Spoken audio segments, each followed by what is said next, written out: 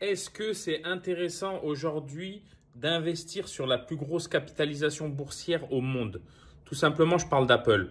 Je vais vous faire une petite euh, analyse vite fait en très très courte. Euh, je fais cette vidéo à la suite de la demande euh, d'un abonné. On se retrouve tout de suite sur mon PC. À tout de suite les amis. Bon alors les amis, tout ça pour vous dire, je vais vous montrer un peu moi ce que je vois dans l'action Apple. Euh, franchement, c'est une action, elle est incroyable. J'ai rarement vu ça. C'est en fait, c'est limite trop. Euh, c'est impressionnant. Euh, est-ce qu'on peut investir aujourd'hui sur Apple? Franchement, quand on regarde la courbe, quand on regarde tout ce qui est analyse fondamentale et l'analyse technique, c'est que de la hausse en explosion. Là, c'est même pas. Il n'y a aucune place au doute. C'est vraiment de l'explosion. Regardez-moi ça. C'est juste incroyable. C'est de la folie on, a l'impression en fait qu'il n'y a, y a aucun vendeur, très très peu de vendeurs, il n'y a que limite que des acheteurs. C'est incroyable. Alors pourquoi en fait euh, aujourd'hui Apple ils toujours euh, c'est toujours des, monstres? Et franchement je pense que c'est pas prêt de pas prêt de s'arrêter parce qu'en fait le truc c'est que Apple il y a quelques années euh, leur principale source de revenus c'était leur principale source de revenus, bah, c'était les appareils, tout ce qui était euh, iPhone, Mac, euh, etc. Et en fait, aujourd'hui, ce qu'on voit, c'est que ils ont. Euh, là, je, viens de lire un article là qui disent regardez, en fait, là, ils disent quoi? Ils disent qu'en fait, c'est devenu. en fait, les services, c'est devenu la deuxième source de, de chiffre d'affaires d'Apple. De, C'est-à-dire qu'en fait, euh, maintenant, vraiment, Apple, ils vont se, vraiment se cibler sur les services. Du style, euh, c'est quoi les services? Ça va être tout ce qui est Apple Music, ça va être euh, tout ce qui est tout ce qui, tout ce qui est dématérialisé, qui n'est pas en rapport avec, avec le matériel comme les iPhones, les Mac, toutes ces choses-là. Là, je vais vous montrer un petit récapitulatif là, de, des entreprises qu'ils ont achetées. En fait, ce qu'on voit, c'est que depuis, euh, bon là, la liste, elle est longue, hein. mais si on regarde depuis 2015, en fait, rien qu'ils achètent des entreprises, vraiment, ils essayent vraiment de, de devenir euh, vraiment omniscients, c'est-à-dire partout dans tout. Et ce que moi j'aime bien, c'est que par exemple, là, vous voyez, ils, ils rachètent des boîtes d'intelligence artificielle. Là, on voit en 2017, là, ils ont acheté 200 millions de dollars. Là, on voit euh, réalité augmentée 30 millions. Et là, en décembre 2017, ils ont racheté Shazam pour 400 millions de dollars. Pourquoi? Parce que maintenant, quand vous Shazamez euh, une quand une musique, et l'appli Shazam, vraiment, euh, il, y avait, beaucoup d'utilisateurs, il y en a toujours beaucoup. Et ben, ce qui se passe, c'est qu'ils vous envoient direct sur Apple Music. Comme ça, comme ça, ils pompent les clients. En fait, c'est une stratégie qui est juste magnifique. Franchement, c'est juste magnifique la stratégie. Moi, euh, moi je trouve que c'est juste magnifique. En fait, ils sont en train vraiment de tisser une toile d'araignée pour essayer de vraiment euh, récupérer un maximum de clients sur leur service et plus sur le matériel. Parce que le matériel, euh, c'est bien, mais le problème du matériel, c'est qu'il faut toujours trouver des innovations, il faut toujours innover, sinon les gens ils vous critiquent, etc., etc. Alors que le service, il n'y a pas besoin. Quand vous faites de la musique, vous faites de la musique. Quand vous vendez de la musique, vous n'avez pas besoin d'innover. Vous prenez les musiques des autres et vous les mettez en vente, vous prenez une commission. Donc en fait, vous avez toujours une source d'innovation à travers les artistes. Vous n'avez pas besoin d'innover vous-même. Donc en fait, c'est un business model, il est, incroyable. Il, est, il est incroyable. Vous regardez aussi, ils ont iTunes. iTunes, euh, bon, c'est plus aussi bien qu'avant, mais euh, Apple, ils ont aussi les sources de revenus avec l'App Store où ils vont prendre 30% sur tout le monde. C'est-à-dire, c'est comme, euh, euh, excusez-moi de le dire, mais c'est un peu comme euh, une pute sur un trottoir. C'est-à-dire, il lui dit quoi? Tu veux vendre ton cul? Et eh ben, c'est 30%. Tu fais ce que tu veux, c'est 30%. Tu vends, tu vends pas, c'est 30%. Donc, en fait, c'est. Donc voilà, en fait, c'est tout le genre de, de petits services. c'est du monopole, hein, bien sûr. Tous les appareils Apple qui se vendent, c'est une porte vers l'App Store donc vers les 30% de commission. Moi, si j'étais Apple, carrément, je vendrais même moins cher mes iPhones pour que tout le monde en ait et pour que tout le monde aille sur, euh, sur l'App Store où là, les marges, elles sont énormes. Et en fait, vous allez, vous, vous allez prendre 30% sur toutes les applications de tout le monde. Et tout, tout l'argent qui est dépensé sur un, iPhone, 30% va chez Apple. Ça, c'est, c'est juste incroyable. C'est, un truc de ouf. Et, honnêtement, eux, pour moi, c'est, quelque chose de, magnifique.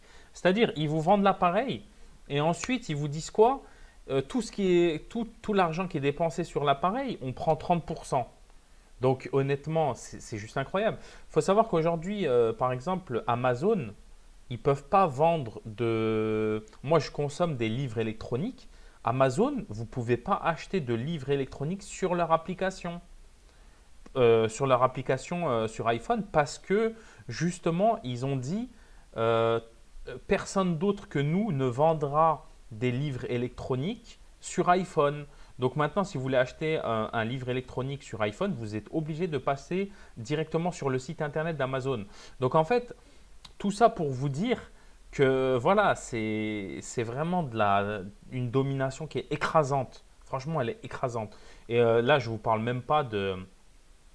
Franchement, il y, a trop de services. Je ne suis pas un analyste de l'action, etc. Mais ce que je peux vous dire, c'est que le business model, il est juste extraordinaire. C'est comme si vous, vous vendiez des télévisions et vous disiez chaque fois qu'un mec, il loue, euh, il, regarde un, film sur cette télévision, je prends 30%.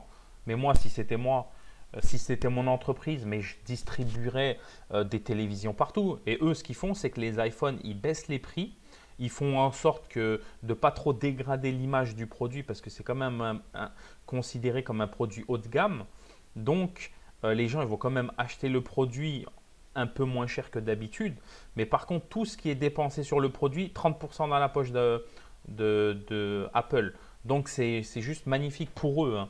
Donc, qu'est-ce qui se passe? C'est qu'en fait, quand vous achetez une action comme ça, euh, vous achetez une action, en fait, l'action d'une entreprise qui vous savez elle se fera jamais détrôner. Parce qu'en fait, ils ont tellement de portes. En fait, ils ont, tellement de portes d'entrée pour les clients et chaque porte d'entrée, c'est 30% de commission. Donc, chaque fois qu'un client il dépasse, il rentre par une porte, et eh ben Apple il dit quoi? Il dit c'est 30% pour passer la porte. Donc, euh, donc c'est incroyable, c'est incroyable. Et après, euh, voilà, qu'est-ce qu'on voit? Là, ils ont racheté une boîte euh, de développement de puces Là, on voit Dialog Semiconducteur, 600 millions de dollars. Donc, comme vous savez, ils ont créé leur propre, leur propre processeur M1 là. C'est pour être moins dépendant euh, de Intel. Parce que c'est pareil, quand vous êtes dépendant d'une entreprise comme Intel, il suffit que l'entreprise dise voilà, à partir de maintenant, c'est 10% de plus par puce. Et ben, qu'est-ce qui se passe automatiquement il se retrouve un peu le, bec dans l'eau. Parce que voilà, quand vous êtes dépendant d'une seule source d'approvisionnement, euh, vous êtes un peu l'esclave de cette source. Parce que s'il dit, si cette source vous dit c'est plus 10%, vous n'avez pas le choix, il faut payer. Donc là, euh, si vous rachetez une boîte de semi-conducteurs, là, comme ça, qui fait des processeurs pour 600 millions, derrière, vous pouvez négocier avec Intel en disant écoute, c'est soit tu baisses les prix pour qu'on t'achète, sinon on les fait nous-mêmes. Et là, vous êtes en position de force pour négocier. Donc c'est ce qu'ils font. Regardez, ils, ont racheté quoi là? Intel achat partiel de. Ils ont racheté la division, euh, une, enfin, ils ont racheté euh, une petite, une portion de la division modem mobile pour 1 milliard. Ça c'était en 2019. Euh, tout ça je connaissais pas, mais AI, l'achat intelligence artificielle, 200 millions. La météo, etc., etc. Tous les autres, je ne les connais pas, mais il y a un autre truc que j'ai vu, ça s'appelle Broadmap, là, une carte. Euh, c'est un truc que j'ai vu qui est pas mal. Ah ouais, c'est ça, MapSense, cartographie. Donc là, c'est pareil, je pense qu'ils veulent, ils veulent se lancer dans, le, dans, les, dans les applications GPS, j'en sais rien.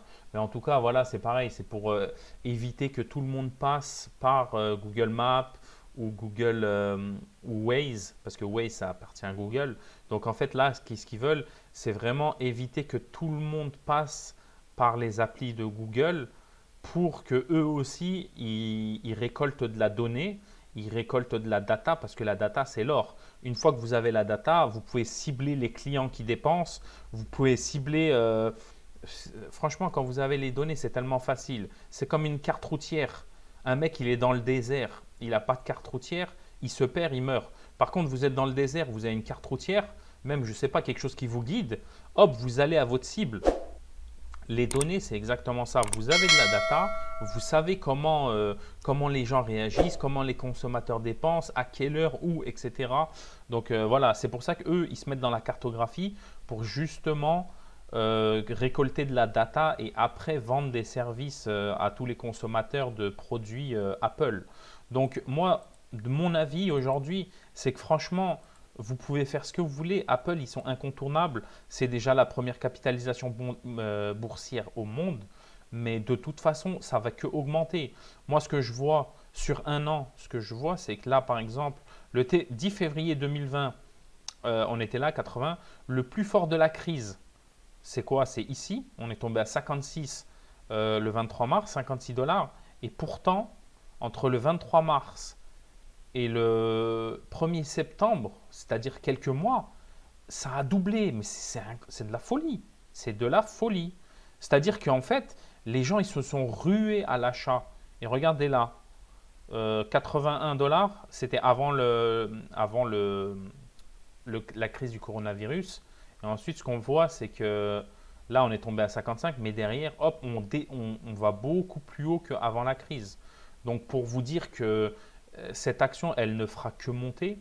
Et franchement, elle a été split, c'est-à-dire qu'elle a été partagée, euh, elle a été divisée déjà plusieurs fois. Donc je crois là à la base, elle vaut, euh, là on, la voit à 120 dollars, mais je crois que normalement c'est 480 par rapport à l'ancienne. je vais regarder dernier split, dernier split Apple. Regardez, ouais c'est ça. Ah non, ben elle a été divisée même avant encore. Hein. Mais je ne rappelle, je m'en rappelle plus, je vais pas dire de bêtises. Mais elle a été split. Ah, c'est ça. 4 pour 1. Voilà, elle a été divisée par 4 pour que les gens investissent un peu plus. Le, voilà. Regardez, c'est écrit là. 24 août 2020, 3 actions supplémentaires pour chaque action détenue. Donc en fait, regardez ce qu'ils disent. Elle s'est changée à environ 400 dollars et maintenant elle est à 100 dollars. Donc elle a été divisée par 4. Donc en vrai, là, ce que vous voyez là, elle vaut pas 100, elle vaut 400. Elle avait, déjà, été split avant. Donc en fait, ça peut que augmenter. Moi, je vois pas de. Demain, même si les chutes d'iPhone, d'iMac, ça chute, c'est pas grave. Ils ont tous les services encore. Ils ont tous les services et ils vont augmenter sur les services. Apple TV, euh, Apple Music, ainsi de suite, ainsi de suite. C'est vraiment une toile d'araignée, c'est-à-dire que même tu peux tomber à l'extrémité de la toile, petit à petit tu vas revenir au centre pour être dans l'écosystème Apple. C'est comme ça que ça fonctionne. Donc euh, moi j'ai un, un iPhone. Aujourd'hui j'ai pris de de l'iCloud pour mes sauvegardes. Si vous multipliez le prix de iCloud par tous les tous les, les utilisateurs de Mac, de iPhone, ça fait des milliards d'euros qui rentrent chaque mois euh, tranquillement euh, sans rien faire. Donc voilà les amis. Moi, et puis en plus, je n'ai même pas parlé du dividende. Bon, il y a un petit dividende qui est juste ridicule, 0,69%. Mais moi, perso, je ne suis pas le, plus grand fan du dividende. Pour moi, euh, pour moi le dividende, bon, c'est bien. Mais les dividendes, ça ne fait pas augmenter... Euh, ça fait pas augmenter la valeur d'une action. Les dividendes, c'est... Voilà les dividendes, c'est bien pour toucher un truc tous les mois. Mais moi, je préfère mettre, euh, moi, je préférerais mettre 100 000 euros sur une action euh, que l'action, elle fait x2 en 4 ans, c'est-à-dire 100%, euh, alors qu'un dividende de même 5% en 4 ans, ça fera que 20%. Donc, donc voilà. Donc voilà les amis, j'espère que ça va vous éclairer. Moi personnellement, si c'était moi, je ne vous dis pas de le faire, vous faites ce que vous voulez. Si c'était moi, bien sûr que j'achèterais du Apple. Euh, bien sûr que je conseille Apple parce que clairement, c'est des, mastodontes et leur toile d'araignée, elle est juste immense. C'est-à-dire que vraiment, ils sont en train de, de vraiment étendre leur domination sur plein de secteurs. Ils vont continuer. Ils vont continuer. Donc voilà. Écoutez, j'espère que ça vous aidera. Si ça vous intéresse, mettez un like. Euh, si vous voulez que je fasse d'autres vidéos d'analyse d'action, euh, n'hésitez pas. Et, puis voilà, à bientôt les amis. Bye bye.